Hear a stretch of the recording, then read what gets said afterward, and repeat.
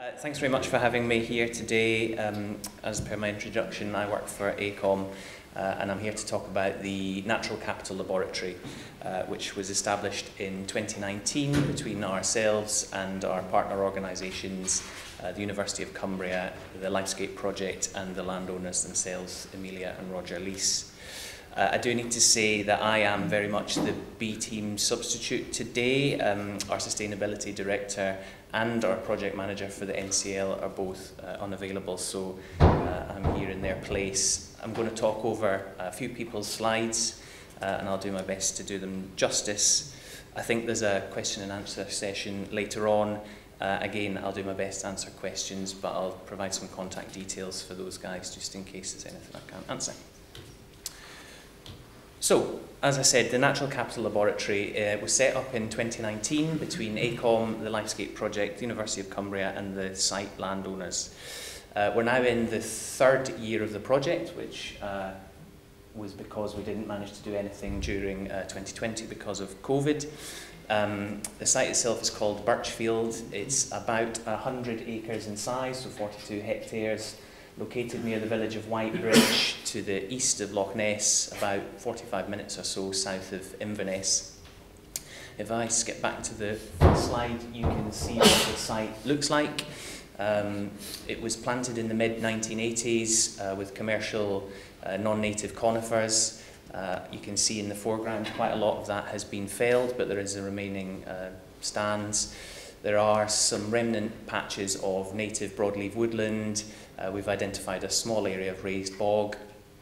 There's the River Fechlin, which is just out of sight at the bottom of the picture there, which flows down to Loch Ness, and then smaller patches of other habitat on site. So the landowner's aim when they purchase the site, and still remains to be, uh, is to rewild it uh, which will involve the removal of the non-native conifers and to replace those with native tree species, native plants and native animals. The Natural Capital Laboratory was set up with the aim of supplementing that work with innovative approaches to data collection and monitoring. So for example, uh, some of the ways in which we've been collecting data over the last few years, and I'll touch on these a bit more in the coming slides, but we've been using drones, remote sensing, thermal imaging, uh, motion sensitive camera traps, robotic rovers and artificial intelligence. The heart rate monitors one is quite interesting because the, the landowners and the Natural Capital Laboratory are keen that it isn't just a, an environmentally focused project, there's a social element as well. So some volunteers that were doing work on the site were strapped up with heart rate monitors and had their blood pressure taken to try and um, at least qualitatively assess how their physiology changed from being out in nature. And it seemed to show that actually it was beneficial both in terms of heart rate and uh, blood pressure. The natural capital accounting, which I'll come on to uh, briefly in a second, um, provides a means to measure both the environmental and the social impacts of the project and to quantify how that changes as the site is rewilded. It gives us a, a way of estimating values both in terms of the uh, physical flows, the ecosystem services provided by the site, but also assigning a monetary value to those, which allows us to actually uh, form a, an account in the traditional sense. And key to the work of the Natural Capital Laboratory is to communicate what we're doing. Uh, I don't know if anyone watches Countryfile, but there was an entire episode filmed there and aired a couple of months ago. Um, But in, a, in addition to that, uh, we've used virtual reality, interactive maps, um, digital platforms and other method, methods to engage both with stakeholders and the local community. So digital natural capital accounting. Um, for those that don't know, natural capital is a term which refers to all of the living and non-living elements of the natural environment which provide benefits to people. So, for example, the air that we breathe, the soil that we grow crops in, minerals, plants and animals. And the flowchart at the bottom there just provides a, a really basic example of that, where the woodland habitat and the trees which comprise it uh, are the, the natural capital stocks, so your assets, the physical flows or the ecosystem uh, services that they provide are many, but in this case, uh, water storage, so the trees take up the water from the rainfall and provide flow regulation, and then providing a, a, monetary value, both in terms of here uh, reduced flood risk and the reduced uh, cost of damages to property downstream. Natural capital accounting is an approach that's been developed by DEFRA, uh, the Natural Capital Coalition and the Natural Capital Committee for measuring and valuing the benefits of natural capital and for organising it in a way that allows for any impacts upon it to be assessed alongside a traditional uh, monetary accounting approach. And it allows for an understanding of nature which provides uh, flows of services to deliver benefits uh, and, and, and establishing a framework uh, to manage land in a way which benefits society. So the traditional, typical approach to natural capital accounting, you won't be surprised to see, involves Microsoft Excel. Um, it can be pretty complicated as there may be multiple tabs which are all interlinked, um, complicated formulae which are again connected between tabs, and it's therefore a pretty technical task.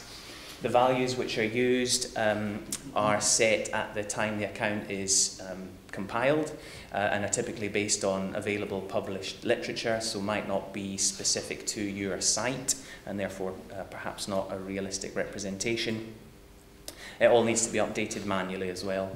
And it just makes for something that's quite difficult for non-technical specialists to understand. So what AECOM did at the Natural Capital Laboratory was to develop the first ever digital natural capital account. Um, it's web-based, it's available online for anyone to access, it's interactive, so you can uh, navigate around the website and see uh, what's been going on and the actual account itself. It's also informed not only by the work that we're doing on site, so peat probing here, but also through remote sensing and using machine learning to update it in near real, uh, real time. So it, the values that it presents are, are right up to date. If this video works. No, that's okay. I can describe the black screen. Um, I'll, move on from the black screen, but I will describe it. Um, there's a link at the end of the presentation to the uh, digital natural capital account. Like I say, it's just a website um, there's a landing page where you um, can find out, or anyone who's interested, information about the project, uh, maps and figures, videos, drone footage, so that you get an understanding of what the site is. But there are navigation tools down the side which allow you to really delve into some of the data that's been collected in more detail. So there's interactive maps for um, habitats, so you can click on any part of the site and it'll bring up information on the habitat at that location. Similarly, in, in the image previously was a, a guy doing some peat probing. You can click any part of the site and it'll tell you what the peat depths are there, uh, which really helps in terms of management decisions because you can say, okay, well, there's deep peat here. This isn't somewhere we want to go and plant new native trees or whatever. And this uh, screen here helpfully shows what the actual um, monetary account looks like. Um, I won't go into too much detail on it, but you can see down the left-hand side are the different natural capital assets, so obvious things like timber, water supply and so on, and then some of the more social elements of that as well.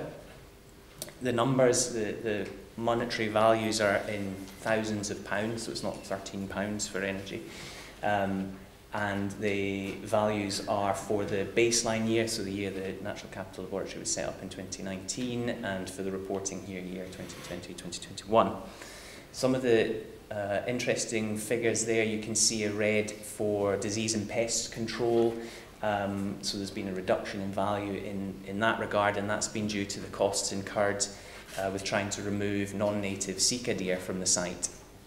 So the landowners are, are strict vegans, um, they've authored books on veganism, and if you want to visit the site, you cannot take any food with animal-based products in it, and that includes cereal with honey.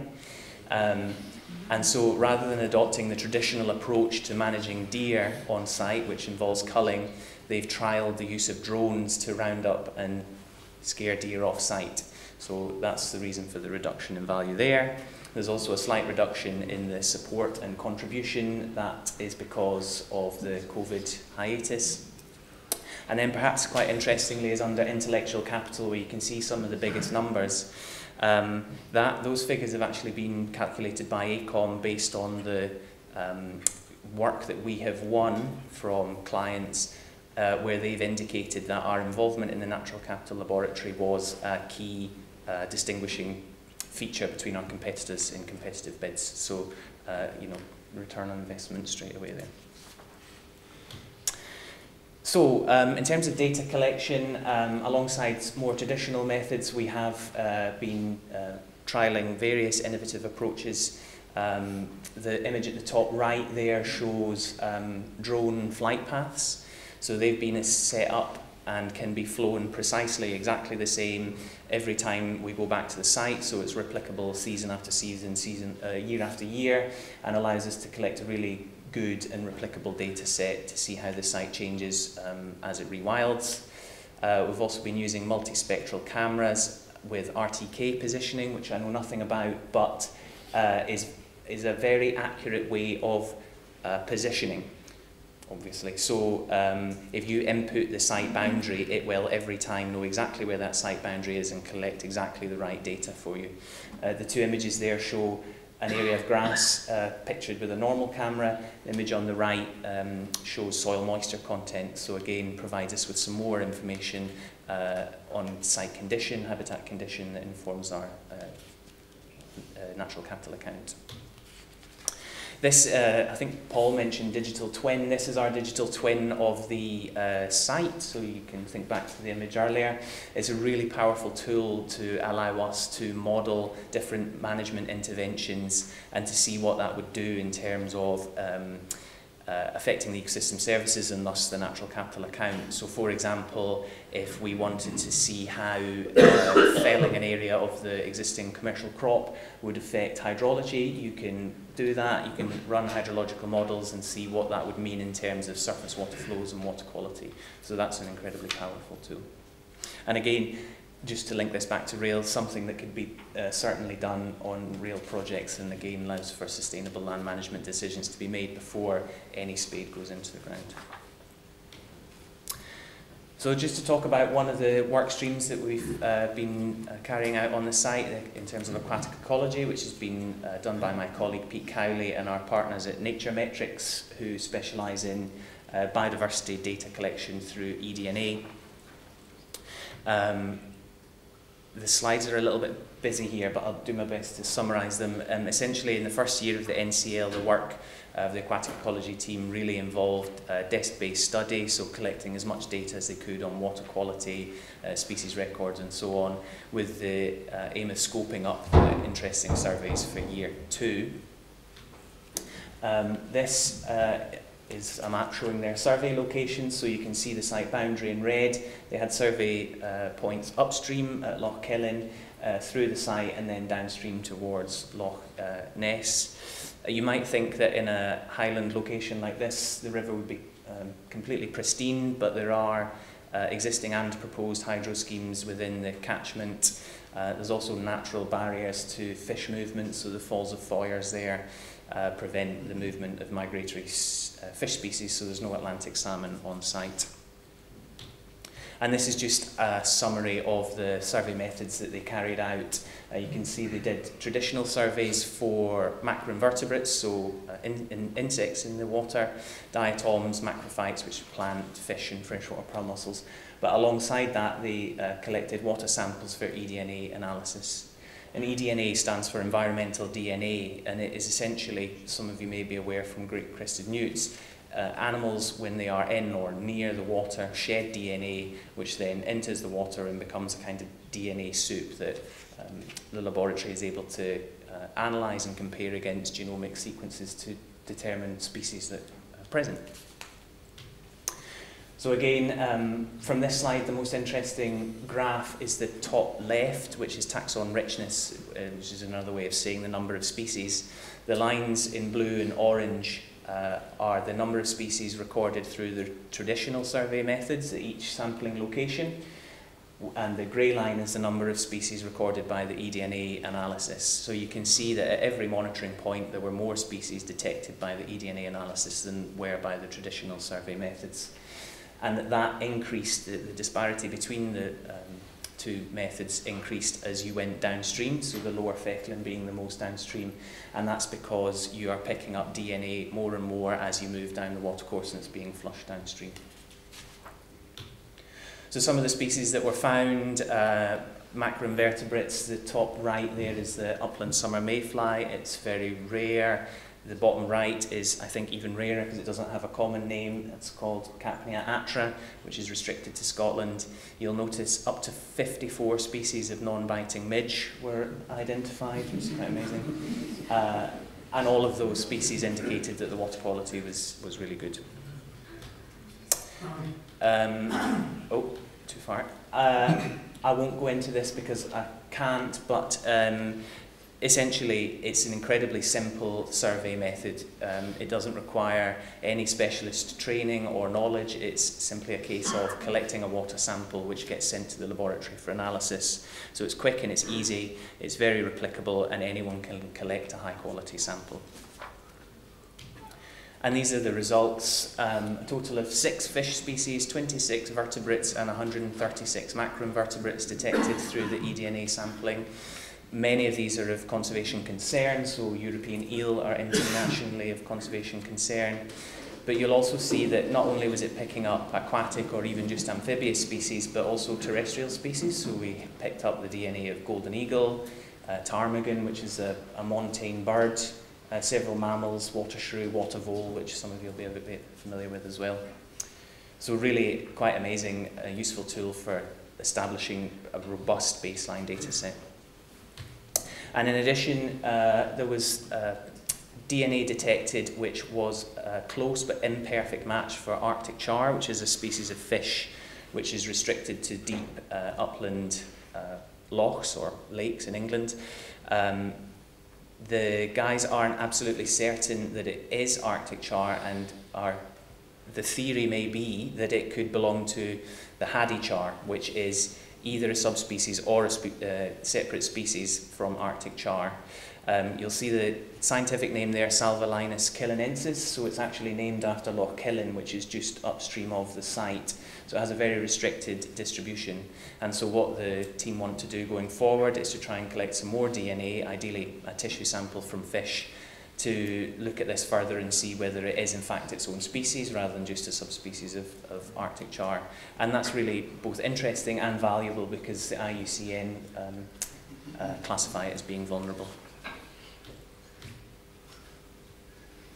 So as I mentioned, um, one of the key things we want to do with the Natural Capital Laboratory is make sure that the work we're doing is communicated and that the lessons we've learned are shared. So one of the ways we're doing that is through the use of immersive visualization and auralization technology. So the team have um, been taking the data collected by others working at the NCL, so for example the aquatic ecology team or, or my own uh, terrestrial ecologists, and they've been building a three-dimensional model of the site They've done this by taking 360 degree videos in various habitats across the site, collecting sound, uh, sounds from the same locations and building a virtual reality to simulate how it looks now and how it might look um, over the next hundred years.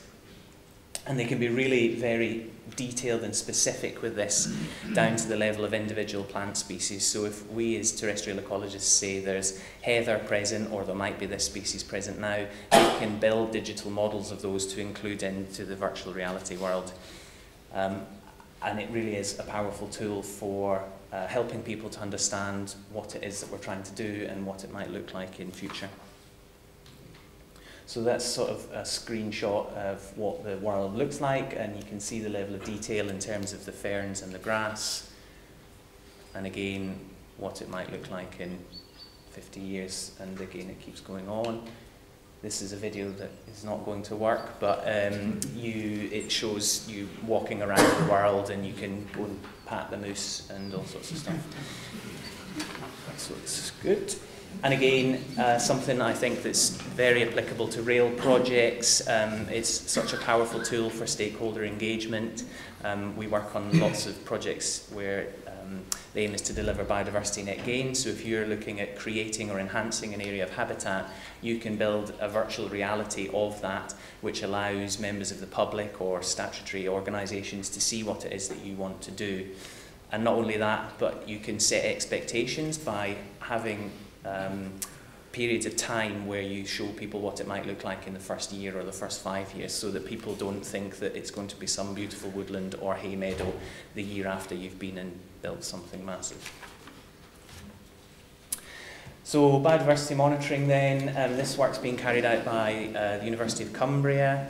Um, the aim is to um, set up a replicable way of automatically monitoring biodiversity change as the site rewilds. So they've set up 10 monitoring stations across the site. Um, each station is equipped with two motion-sensitive trail cameras, which can collect video or camera, uh, video or still images, uh, both during daylight and at night. There's also uh, audio moths, which are really cheap but really effective um, noise monitoring uh, pieces of kit so they can record bird sounds and also bats. And the guys at the University of Cumbria are currently analysing the data from the first year and you can see that there's a lot to go through. So from one location alone, they've got 2,000 images to look through. And that's just an example of uh, what they look at. That's a, a non-native Sika deer. So in terms of the future then, um, we've got lots on the go and we keep coming up with more ideas. Um, my colleague who was carrying out a, a habitat survey identified a previously unknown area of raised bog just beside the river here. Um, nobody knew it was there because it was so badly degraded through drainage ditches um, that were dug for the commercial plantation and also the encroachment of, of um, birch scrub. So we have a program of ongoing uh, hydrological monitoring and uh, what we really hope to do is to come up with a plan for how that area might be restored through ditch blocking and the removal of scrub uh, with the aim of really bringing it back to a, a nice bog with the carbon sequestration benefits that would bring. Uh, I've said it before as well, it's not just environmental, there's very much a social aspect to this. So there have been artists in residence and there will continue to be, so there's people have recorded music albums on site. Uh, there's also work taking place to identify missing species from the site uh, and the possibility of reintroducing those. Um, we're not talking about wolves, but smaller things like uh, wood ants and things like that that, that would, would naturally be in that area but are currently missing. And uh, my colleague who manages this is really trying to expand the Natural Capital Laboratory to form part of a, a network of sites across the world and is having some success with that uh, with people, I think, in Africa and Australia. And the idea would be to share all that we've learned and, and really uh, yeah, come up with better ways of doing things. That's that. Thank you very much.